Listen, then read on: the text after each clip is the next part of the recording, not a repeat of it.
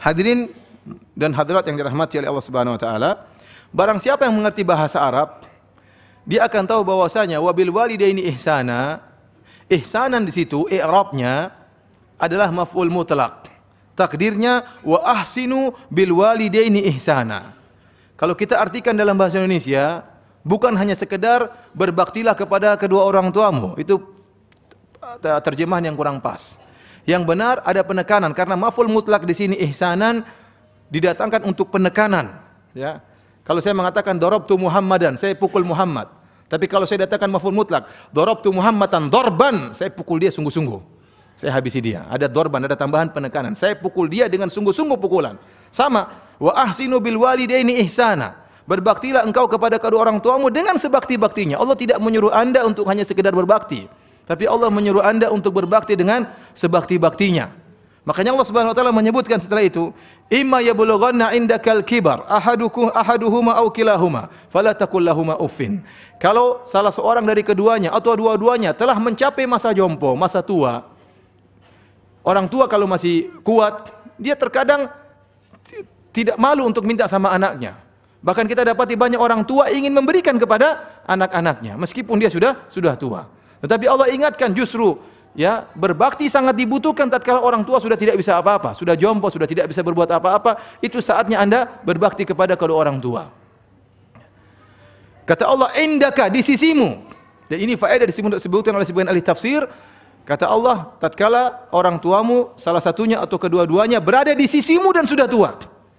Ini ada keutamaan agar orang tua tinggal bersama kita. Jangan tinggal kalau usahakan jangan tinggal sama kakak kita, jangan tinggal sama adik kita, tapi tinggal sama kita. Karena inilah pintu surga kita bawa ke rumah. Kecuali kalau orang tua tidak mau dengan pertimbangan yang dia kehendaki, tapi kita buka pintu. Kita berharap orang tua tinggal bersama bersama kita. Ya, akhi saya baca terkadang sebagian cerita disebut oleh para masyayikh di Arab Saudi bagaimana anak-anak sampai ribut gara-gara rebutan orang tua harus tinggal sama sama dia. Ya, harus tinggal sama dia karena mereka tahu ini pintu surga dia mau masuk dalam rumah. Ya.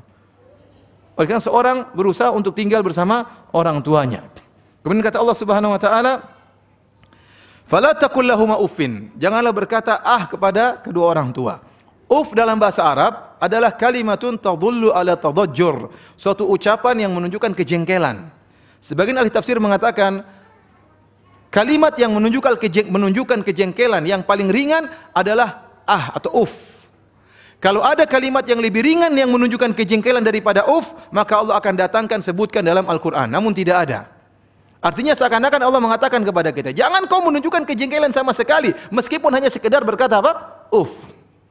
Oleh karena sebagian ulama mengatakan namanya durhaka adalah menunjukkan kejengkelan kepada orang tua, itu bentuk durhaka. Itu bentuk apa? Durhaka. Sebagian mereka mengatakan di antaranya kau memandang dengan pandangan sinis kepada orang tua, itu durhaka kepada orang orang tua.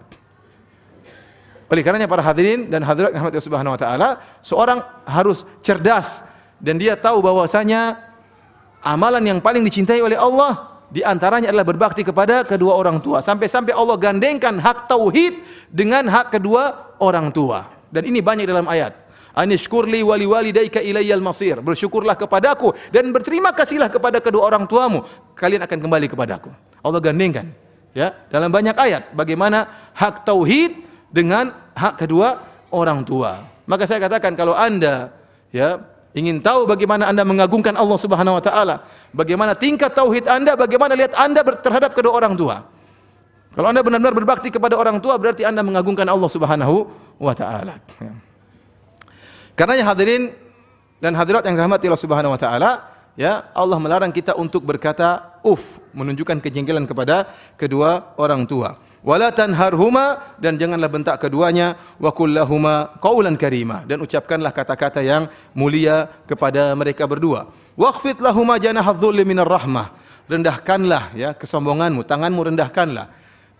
Sebagai bentuk rahmat kepada kedua orang tua wa qur rabbirhamhuma kama rabbayani saghira. Dan berdoalah kepada Allah ya Rabbku rahmatilah kedua orang tuaku sebagaimana mereka berdua telah merawatku tatkala masih masih kecil. Oleh karenanya para hadirin, kalau kita bagaimana asar salaf, para salaf dahulu mereka sangat berbakti kepada kedua orang tua mereka, ya. sangat berbakti kepada orang tua mereka dan mereka sangat tawadhu di hadapan kedua orang tua mereka. Contoh sederhana Al-Imam Abu Hanifah rahimahullah. Al-Imam Abu Hanifah orang yang paling fakih di zaman dia. Dan di kampung dia ada seorang namanya Zur'ah. Zur'ah ini wa'iz. Qas, suka memberi cerita di masjid, memberikan nasihat ya. Karena ada orang pintar kasih nasihat tapi ternyata tidak pintar ya. Pintar cerita tapi secara dalil dia tidak fakih, dia tidak dia tidak pakar bidang agama tapi kalau kasih nasihat nasihat pintar. Ini sudah ada sejak dulu. Di zaman Imam Abu Hanifah ada seorang namanya Zur'ah di masjid pintar kasih nasihat.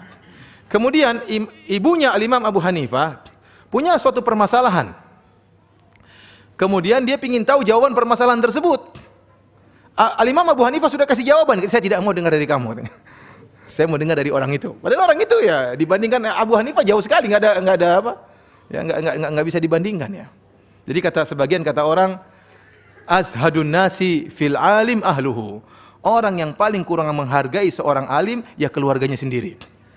Ya, bisa jadi seorang ustadz, masya Allah orang datang berebut-rebutan, di rumah dia diomel-omelin sama. Ini bukan pengalaman pribadi ya. pengalaman bersama ya. bisa jadi seorang bos di luar orang hormat sama dia di rumah dijewer sama istrinya bisa jadi. Oleh karenanya keluarganya entah ibunya entah kakaknya entah adiknya kurang kurang hormat sama dia. Ya. Al-Imam Abu Hanifah rahimahullah taala orang sangat alim, ibunya tidak ngerti dia ini sangat alim. Ibunya nggak mau dengar fatwa dia, saya mau dengar fatwa dari Zur'ah. Akhirnya Abu, Imam Abu Hanifah bawa dengan begitu tawaduknya datang bersama ibunya duduk di majelis Zur'ah tadi ya. Bayangkan ente datang ente ilmunya tinggi datang kepada orang yang ceramahnya nggak tahu ceramah apa, tapi duduk demi ibunya. Kemudian dia bilang, "Wahai fulan, ibuku punya masalah, pertanyaan. Dia ingin uh, bertanya kepada engkau. Kau kan lebih fakih daripada saya," kata Zur'ah. Nah, terus tapi dia nggak mau dengar saya, dia maunya dengar engkau. Apa permasalahannya? Soalnya begini. Kalau gitu Abu Hanifah apa jawabannya ini? Ya itu jawabannya katanya. Akhirnya tawadhu, tawadhu kepada ibunya. Seperti Mansur ibn al-Mu'tamir. Dia lagi datang sama tamunya duduk di rumahnya, tiba-tiba ibunya keluar. Wa kana wa kanat faddatan alaihi. Ibunya keras sama dia. Kalau ngomong kasar, dia orang alim. Maka ibunya berteriak, ya. Ya Mansur, yuriduka ibnu Hubairah alal qadha wa fata'ba wahai Mansur Ibnu Hubairah ingin mengangkat kau sebagai qadhi kau tidak mau sambil berteriak tapi Mansur tidak menjawab sama sekali dia menundukkan pandangannya dan tidak melihat ibunya. Dia tidak mengatakan ibu mama nggak tahu masalah gini ma. Ini masalah ini masalah hukum nih bahaya ma kalau kita berhukum. Salah masuk neraka ma. Ini bukan urusan mama. Mama sudah masak di dapur. Dia nggak ngomong begitu ya. Dia tundukkan pandangannya hormat kepada ibunya. Lihat bagaimana Usama di zaman Utsman bin Affan radhiyallahu taala anhu tatkala korma lagi mahal-mahalnya sampai seribu dirham. Seribu dirham harganya. Tiba-tiba ibunya ingin makan jumar. Jumar adalah jantung, bukan jantung korma, tapi ada sesuatu di dalam batang korma. Kalau diambil kormanya rusak sudah. Maka dia pun pergi ke kormanya, dia rusakkan kormanya, dia ambil jumar, orang-orang bilang sama dia, kenapa anda merusak korma anda? Sudah tidak bisa berbuah lagi kalau begini, sudah rusak, ditebang korma lagi mahal harganya. Kata dia, ibu saya ingin makan ini. Kebetulan saya bisa memenuhi permintaannya. Ya, dia khawatir suatu saat ibunya minta dia tidak bisa memenuhi apa? Permintaan. Dia tidak peduli meskipun harganya seribu dirham. Yang penting ibu saya senang. Kesempatan bagi saya untuk berbakti kepada kedua orang tua. Lihat Muhammad Ibnul Munkadir. Dia berkata, Bitu agmizu rijlai ummi wa bata akhi Umar yusalli. Ya. Fama sarrani anna lailati bilailatihi. Kata dia, saya di malam hari pijit kaki ibu saya. Sementara saudara saya sholat malam. Tapi kalau suruh, suruh tukaran pahala saya tidak mau. Kenapa? Dia menyenangkan hati ibunya. Oleh karena para hadirin subhanahu wa ta'ala, justru kalau orang tua kita di masa tua, di masa jompo, ini kesempatan bagi kita untuk apa? Masuk surga. Seorang harus cerdas ya dalam memilah-milih mana yang prioritas, mana yang lebih utama untuk mencari apa? Pahala. Ya. Harus pinter. Di antara perkara yang sangat memudahkan kita masuk surga adalah berbakti kepada kedua orang tua.